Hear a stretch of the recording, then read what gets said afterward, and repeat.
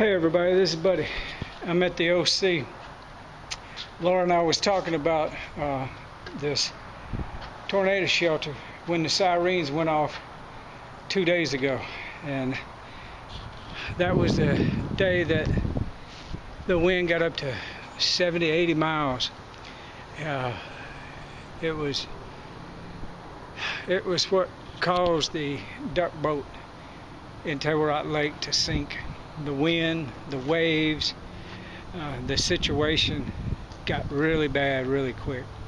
But Laura and I had just asked the question. I was watching uh, the KY3 uh, cams. The, they literally have a cam at Table Rock Lake. They have one of Branson uh, on the strip and Springfield in a couple of locations. So I had seen the storm coming, but um, oh, my heart just breaks. So, needless to say, uh, this is not one of my normal, typical, upbeat, happy videos. I know there's so many people asking questions and hurting about the loss of the 17 people that drowned during the, the sinking of that duck boat. It's horrible. I pray for peace within the minds of the people that are immediately involved and the people that are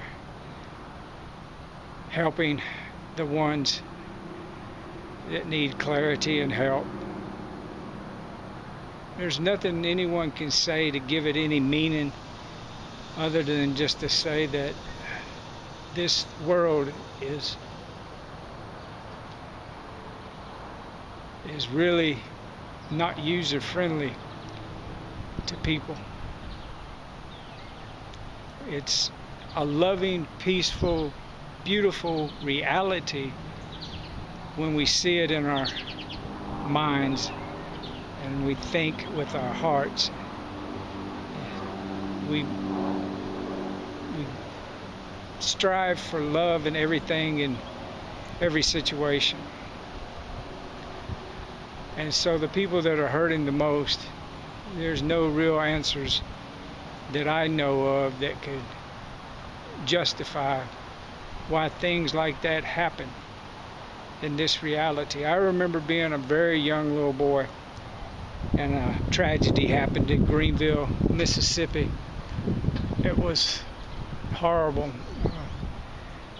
Carload of teenagers ran into a tree, and there was quite a few of them instantly killed. And so that was 1969. They were driving a 1969 Daytona Firebird with the wing in the back of it and uh, so it was a brand new car. And I remember asking the questions then: Why does God let things like this happen? And I didn't get no answer then, and I don't have no answer now. I honestly, the thing that I know about this reality and who I am, and why I'm here, is something that everyone that earnestly seeks will find.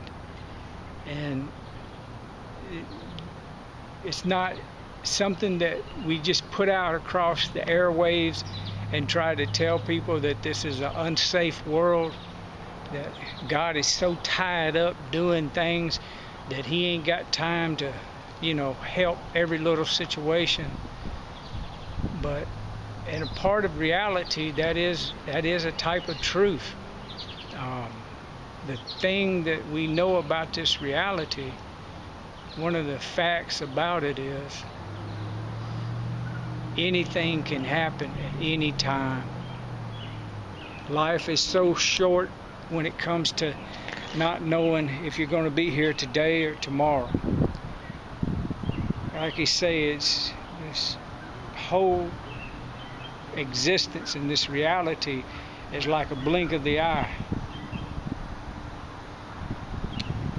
So I don't really know what to say personally in a tragedy situation anymore because I do know this the survivors, the loved ones, the ones that are looking at why and asking questions, if they'll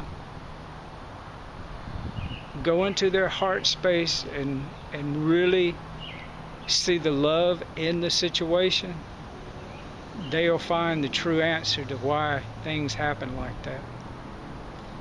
But can't no one person tell another person